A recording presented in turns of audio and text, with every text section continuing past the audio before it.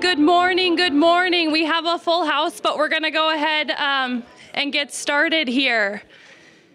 Thank you for joining us. We are overflowing, and it is a wonderful thing um, to see. So, good morning and welcome to our dedication celebration. It's my pleasure to welcome each of you, and thank you for taking some time out of your day to pause, reflect, and celebrate this beautiful community. I'm Chandler Hulke, campus administrator here at Marvella. It is a blessing to be here today representing Marvella and Presbyterian Homes and Services. I've been with PHS for the last five years, but this has been a first for me in opening a brand new community. But what a community to bring to life. It truly is marvelous. With great Thanksgiving, we welcomed our first residents on Friday, November 25th. It's hard to believe that seven months has gone by, as so much has happened, and it hasn't taken long for it to feel like a family here. Today, we stand 258 residents strong across our three value streams, but still, still continuing to grow by the week. I want to acknowledge a couple of specific groups of people today. To the QST leadership team, will you please rise or wave?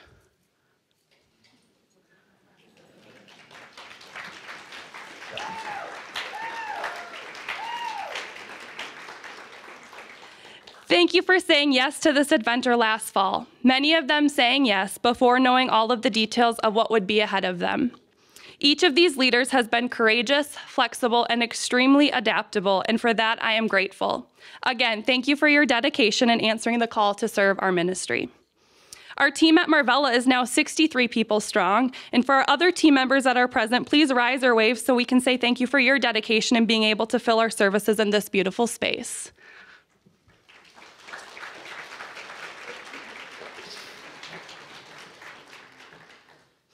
Next, to all the lovely people who have come to call Marvella home. Thank you for your faith in this community, for your patience along the way, and, and for your role in bringing this community to life over the last seven months. It warms my heart to see the connections that have been made, to see the life enrichment calendar growing, the groups forming, common interests being shared, and to hear all the conversation and laughter coming from the bistro, the dining room, and the club lounge at all hours of the day. It's priceless and what living life in a community is all about. We're reminded further in the book of Matthew For where two or three are gathered in my name, there I am among them. Again, this community is what it is as a result of the many people in this room, and I'd like to highlight a few of them that you'll be hearing from later on. Thanks to each of you for your role you have played in developing not only this beautiful building, but a place where a community will flourish for many years to come. Today we have present Mayor Melvin Carter, Chris Tolbert, Council Member, Mike Ryan, President of Ryan Companies, Lisa Albin, Senior Development Manager of Senior Housing Partners, and Maia Twedt, Campus Pastor at Marvella. Finally, a quick housekeeping announcement that we'll be hosting the ribbon cutting um, ceremony and pictures on the amenity deck. Following the program, we invite residents to join us for a picture. Following pictures, if you're interested in seeing our model apartments, check in at the front desk with Michelle, and our lovely housing advisors will give you a tour. And with that, I'd like to welcome Mayor Melvin Carter for a few remarks.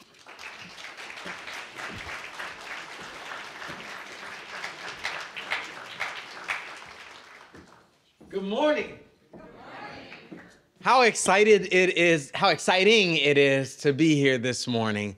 Uh, this is really cool. We've been looking forward to this for quite some time. I got a chance to walk through this space, what, just a few weeks ago or so, uh, and was just blown away uh, by the high ceilings, by uh, the wide hallways, by the fireplaces, by the space. This is incredible. I mean, this is such incredible space. Um, I actually already uh, submitted my application for the waiting list. So, whoever's in charge of that, please, no special treatment, but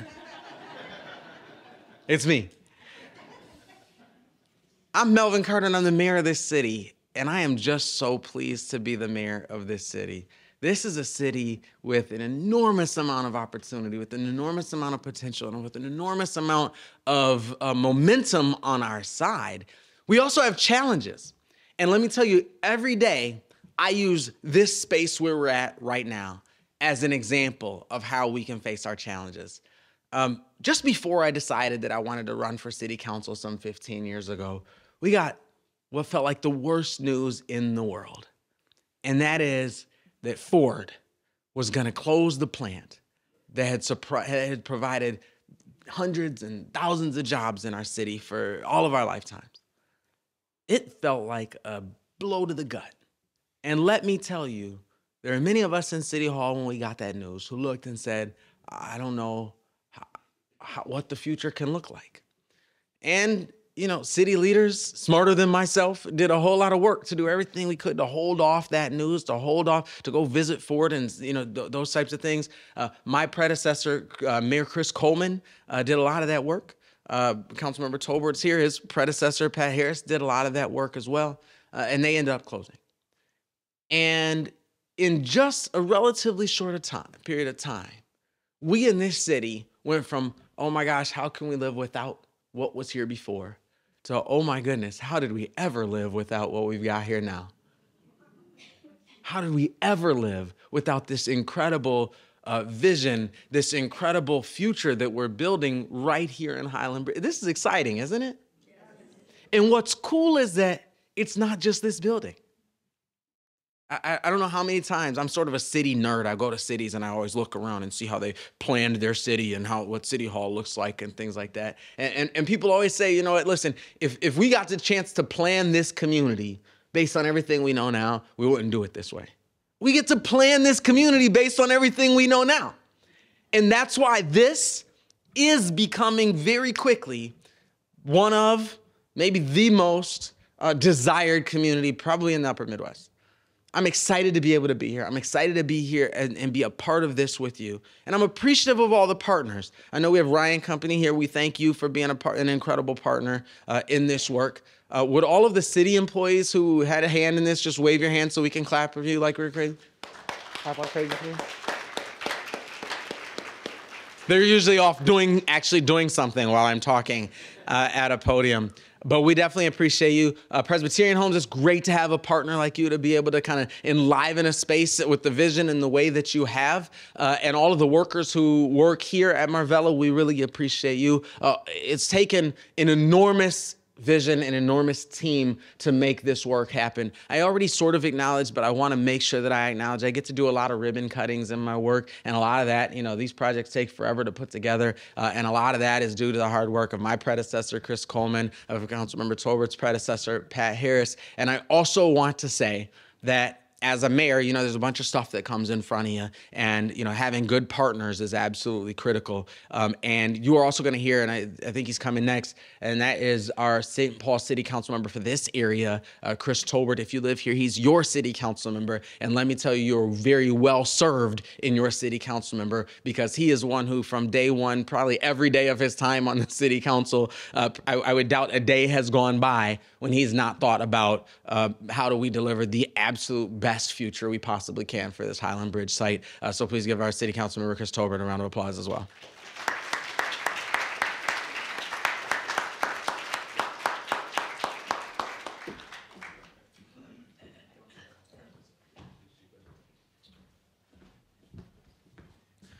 Well, thank you, Mayor. And uh, for those of you who weren't living in the neighborhood prior to living here, welcome. Welcome to Highland Park. Welcome to Highland Bridge. We're so happy to have you in St. Paul. Um, as the mayor mentioned, it is truly exciting. Um, back in 2011, when this was still an auto manufacturing plant, I'm sure many people in here remember seeing it. Maybe some people worked at it, um, but it was a staple of our neighborhood. In just these short years, 12 short years, we've gone from having an auto manufacturing plant to having people live on this site in a building this beautiful, and that is just absolutely exciting. That's what we envisioned throughout. Um, and as many people here know, I talked to a few people um, that moved here um, from other places because they're many have grandkids close. I've talked to some people who have downsized to here from the neighborhood. And that's exactly what we talked about when we talked about the senior housing here. When I took office back in 2012, we didn't have a lot of senior housing options. And that was one of the things I heard at the doors. That's one of the things I heard from a lot of people of I have to go to Eagan to live in senior housing. I have to go to Vadnais Heights or Bloomington. And we don't want that. We want people here. We want you here because you're still con- you're contributing to our neighborhood. this is the place where you've lived. This is the place where you want to continue to live. And this is a place where you might have kids or grandkids that you want to stay close to. And so that's what's so exciting about this. It's great to see um, the diversity of housing being built. It's great to see a, a building this fancy. I, I joke with the mayor that, and, and when we're when we qualify for age wise, we're going to be living here uh, complaining about the current city government, probably. Um, writing letters about back in our day. Um, and, uh, you know, it's just exciting because I know to have a location like this, to have a place where I can stay in the neighborhood, the neighborhood that I was raised in, the neighborhood I live in, and the neighborhood I hope to age in. Um, it's, it's exciting to have this. So, welcome to the neighborhood. For those of you that are here, thank you for staying. Uh, and uh, super excited. I hope you're enjoying the amenities and all the parks and, and everything there. Um, we're lucky to have it built by such great contractors, such great developers like Ryan Companies. To build a building of this caliber um, is is just amazing. It's because they're a great union shop. They have great developers, and I know all the partners that they've used along the way. So thank you. Um, and I get the great honor of introducing Mike Ryan, um, the head of Ryan Companies. Thank you.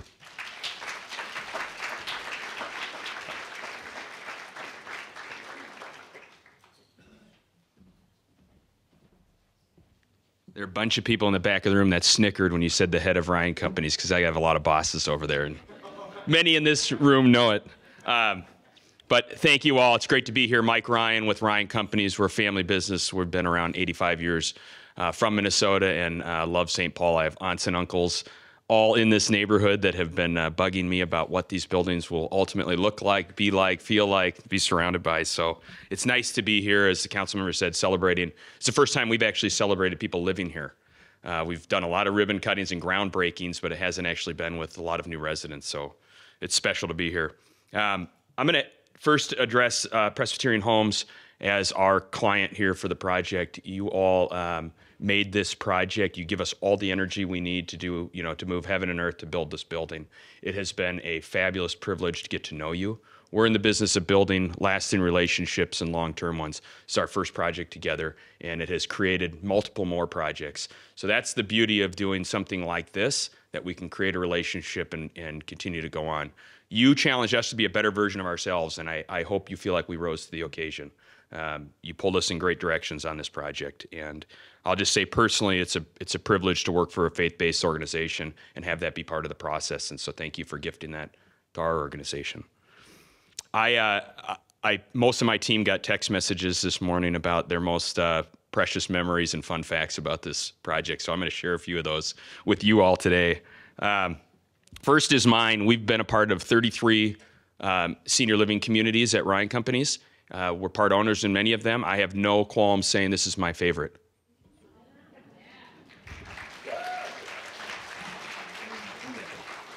For me, there's a couple of things that lead to that, but the intergenerational connection that this site promises. It, this is not a standalone senior community where you go live in a parking lot in an isolated place. You have to be part of a community, and it's just pretty rare that you have that at such a high level. And I think nothing speaks better that to that than the kayaks in the bike room. You just that is a first for me on any communities we've worked on. Uh, the the traditional architecture, uh, you know, it's probably quasi Italianate architecture. Mayor talked about it. Uh, it's I think it's absolutely charming. Council member, I can't remember the term you used. it was like neat or you know something like that. It's I think it's charming. Uh, the and I think you only get that with a great customer. Um, so thank you again, uh, Presbyterian Homes, uh, for leading the way in that regard. It's really special. Uh, it's also exactly what we promised the neighborhood when we had countless meetings over the course of uh, 2019, 2020, 2021. Anyone part of any of those meetings? There's a few. We were, Tony was, we were very fearful of tomatoes being thrown our way many times. And I'm proud to stand here and, and feel like we delivered on, on a big promise. Um, the buildings were designed during COVID. I, have already forgotten that. But the team virtually, um, they, they, rarely met together in, in person, and they did most of the design work over the computer, um, which I just think speaks for itself. Um, so that was an interesting piece. The, the sustainability features, a lot of our team members are very proud of this. And again, that takes a great customer patron to really drive that outcome. Um, we set much of that in motion at the city level and with the, the vision of the site, but that is a special feature for all of us. Um, the next one is uh, someone reminded me that Tony owes me $20. And I'd like to be paid before we leave today because he's not paid me. This was not staged. I can't believe he actually has the cash. Um, Tony bet against himself that he would get the Skyway approved uh, here for the project. And the Skyway was, you know, it's an important element for a community like this to thrive, especially in the winter months. And I think we believe that, um, you know, Skyways are not beloved by city planners and many architects because they do, they can create negative consequences for cities. But in this case, it was absolutely the right thing to do. And um, thank you, city, for coming with us on that. 120,000 pound Skyway that was uh, pretty much built on the ground and installed on a Saturday morning. I don't see Kirk. He's hiding in the back. He was in charge of that. But I think it was a Saturday morning. Pete, was it a Saturday? About 15 minutes? Yep, it was quick. Uh, a lot of planning and work with zero tolerance. That was pretty cool. Uh, here's one that I found fascinating. It just speaks to the humanness of, of projects like this and endeavoring to do this. Five, uh, six babies across the project team of probably 30 people were born during this project. So they, it's a bit of a club whether you did or didn't have a baby on this project. Five at Ryan, I think one at, at Press Homes, um, and we actually hosted an on-site in-job trailer baby shower, which may have been the first that we've done. Uh, we're not sure about that. Uh, the teamwork, this is a serious one. If you've been to any groundbreakings that we do, we usually have a moment of silence and pray for the safety of the team members working on the building. Uh, we had over a thousand people participate in this construction. Pretty, I mean, pretty amazing when you think of what a thousand faces might look like. Uh, working together is about 50 different companies. At the peak performance or peak uh, volume is about 275 people a day working on building this building, and that lasted for, of course, months. We didn't have one lost time accidents. That's our metric. So I just like a round of applause for that fabulous performance. Fun fact: one of the best constructs we created with the whole Ford site, uh, Highland Bridge development, is that the projects that are paying taxes here fund the affordable projects that may happen next door. And that is an enormous, um, I think that's one of the most brilliant things that we were able to craft with the city's leadership here. So, three projects, about 200 units, are the beneficiaries, uh, in part, not the complete beneficiaries, but of this project. And that is, I think, a fabulous uh, symbiotic relationship in a community to create. So um, great work to the city for that. Those three projects are under construction now. Uh, 100 full-time jobs. You know, there's 400 families that'll be part of this residence, but 100 full-time jobs are a different part of that uh, equation. And, and I think people forget senior communities um, create purpose and dignity for people that are working in them. And I just, I love that factor. Um, our team is very cautious of me sharing with you, so I'll just say when all the auditing is done, we think we set some very aggressive um, women-owned businesses, minority-owned businesses, and small business participation goals. I think when all the audits are done, we will exceed all of those. 25% collectively was the goal. That's a major accomplishment, so I'm very proud of the team for that. Okay, I'm going to wrap up. I just have 15 more. Uh, we got this one is very special. Morgan Frederickson, in the room? She's going to be very embarrassed about this. Morgan uh, was the senior project manager on the project. She was named um, the top woman in construction in Minnesota last year for her leadership on this project. That's a pretty amazing accomplishment. So hope, hopefully you all enjoyed just some of the more human elements of um, pulling a project like this off. Um, I'm proud to say we were ahead of schedule and um, and on budget. Uh, hopefully, Press Homes feels the same way. Yes, I got a nod. Uh, good. The um, this is the third and fourth project at Highland Bridge in in my view. Of course, the Lunds apartment building uh, being the first, the medical office building the second. These two, and then we have three affordable projects underway. So um, those are you know the first, and then of course the row homes that you all saw out front. Uh, those are the first of what ultimately are 42 blocks out here that we intend to build together. And we have work to do. You know, we created an incredible partnership to bring this walkable, sustainable, mixed income, dynamic community together. And we have a speed bump in front of us in rent control. and we need to all band together and figure out a solution to get the rest of those 42 blocks coming. So we are committed to that. You will see us leading the charge in that. The city is, is part of that equation with us, um, and we just cannot wait to be out here uh, seeing this building totally full of people and all of your great neighbors here using those kayaks and uh, doing exactly what we all envisioned. So thank you, Press Homes, for letting us be a part of this. Thank you to the city for helping us uh, dream big here. And I will hand it off to the leader of the project from um, uh, the Presbyterian Home side of the equation, Senior Housing Partners, uh, Lisa Albane. Lisa?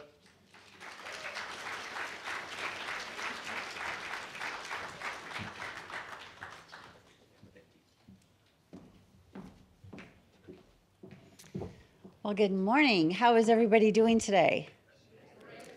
I was I was thinking back to all of our resident meetings that we had, gosh, almost a year ago now. And can you believe it's actually here and you've moved in and you know your neighbors and we're not at the golf course, we're in your chapel in your community room. I think it's just amazing. Well, I want to thank Mayor Carter and um, um, Chris Tolbertson, right? Tolbert, sorry, and Mike and the rest of the people that are here from the city, from Ryan Companies, um, and just family and friends that are here on this amazing day as we celebrate um, the completion of Marvella. It's a remarkable achievement that's been born out of collaboration, shared vision, unwavering dedication, and fortitude.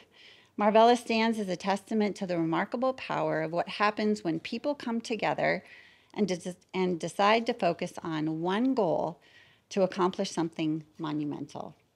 As we embark on this momentous occasion, let us draw inspiration from the words of Ralph Waldo Emerson, who said, Do not go where the path may lead, go instead where there is no path, and leave a trail.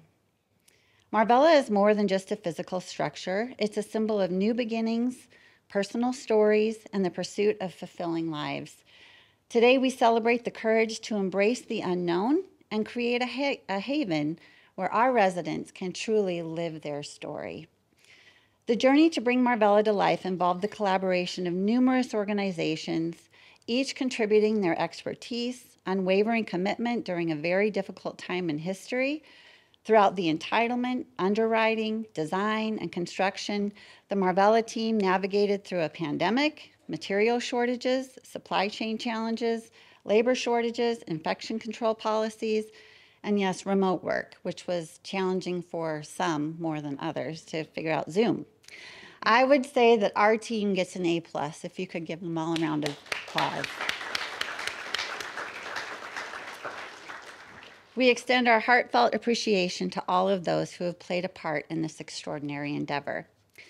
So, to begin with, we recognize the City of St. Paul in the Planning and Economic Development, the Housing and Redevelopment Authority, and the Highland District Council for their support and guidance throughout the development of Marvella. Their dedication to, to promoting vibrant communities has been instrumental in transforming our dreams into reality. We express our gratitude to the Capital Region Watershed District and the Metropolitan Council for their expertise in ensuring that Marvella was built with environmental consciousness, preserving our natural resources for generations to come. We acknowledge our financial partners that have shown unwavering belief in this project. I remember the first phone call to Piper um, Sandler was like, Do you think we could do a bank deal on this? John and I were just shooting for the moon, and it's like, well, let's see what we can do. So, as a result of that courageous step, um, I'm just going to read off the number of lenders that were involved in this process. So, take a deep breath because there's a lot of them. Uh, UMB Bank, Associated Bank, Choice Bank, Minnesota Bank and Trust, Sunrise Banks, Center National Bank, Central State Bank, Citizens Independent Bank, First State Bank and Trust, Highland Bank, and First American Title. Their support and commitment have paved the way for the realization of this extraordinary community. Let's give them a round of applause.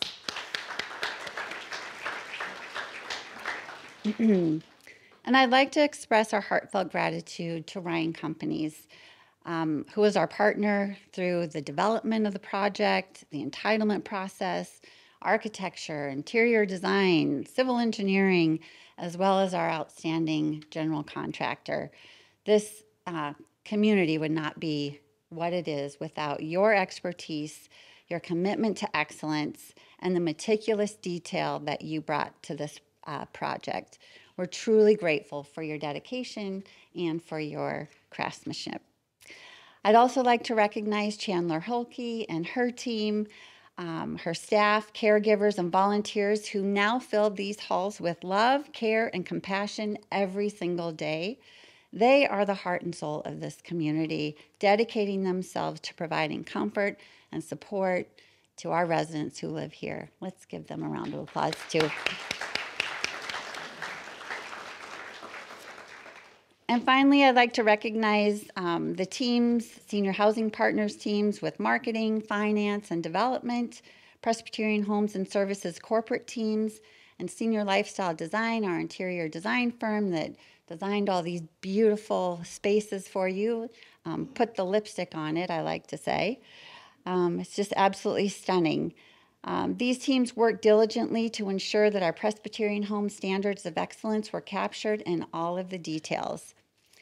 This legacy of excellence began in 1953 when Presbyterian Homes of Minnesota was incorporated under the leadership of Dr. Irving A. West as its first board president. In 1955, the first senior residence, a home for retired ministers and their wives, was built by Presbyterian Homes on 20 acres of donated land um, in Arden Hills, now known as Johanna Shores. Since then, Presbyterian Homes and Services has been an innovative leader dedicated to promoting independence, purposeful living, and overall well being for those we serve. We've spent the last 70 years dedicated to understanding the unique needs of our elderly population. And it was with that wisdom and knowledge that guided every aspect of the creation of Marvella. Today, we stand in awe of the collective effort, shared vision, and collaborative spirit that have brought Marvella to fruition. It's a place where love, compassion, and respect will flourish, providing a nurturing home for our residents, family members, staff, and volunteers. In closing, let's remember the essence of Marvella, which is live your story. It's a reminder that within these walls, every resident has the opportunity to create new chapters filled with joy, with purpose, and opportunity. As we embark on this new chapter together, let's embrace the spirit of unity and collaboration, knowing that when we join forces, we can re- accomplish remarkable things. As Maya Angelou wisely said, the ache for home lives in all of us, the safe place where we can go as we are and not be questioned. May Marvella be that safe place, a loving home where our residents can truly live their unique stories. May Marvella be a place of joy, of comfort, and fulfillment for all who reside here within her walls. May it be a sanctuary where the spirit of compassion and love thrive, and thank you once again to all who have contributed to this remarkable endeavor. Your dedication, support, and unwavering belief in Marvella will forever be etched in its legacy. Like and now I'd like to invite Pastor Maia Twedt to come and share the blessing.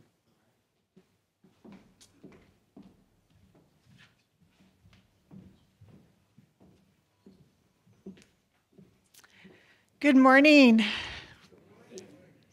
We stand here in this beautiful place on this beautiful day, and we acknowledge that we are humbly positioned in a long arc of many generations and peoples who have come before us. We offer gratitude to this land, to this vision and to God. And so we pause in this moment of time, this precious moment, what poet Mary Oliver calls our one wild and precious life, and receive the blessing of God. Let us pray. God of grace and God of glory, Bless the architects and the artists, the construction workers, and the community who have dreamed Marvella into being. God bless our compassionate, committed staff from this day forward who give their hands and feet in service to the lives of Marvella residents.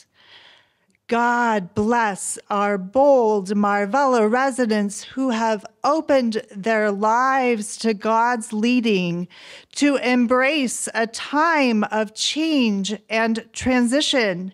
And we join them as they step deeper into their lives.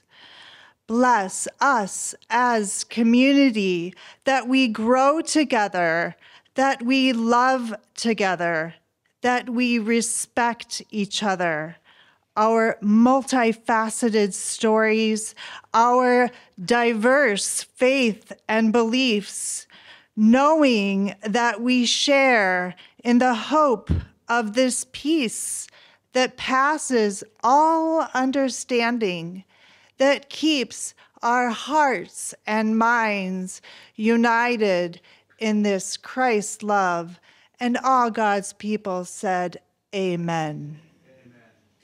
Amen. And now, just one final um, announcement. In a moment, we'll prepare for our ribbon cutting ceremony.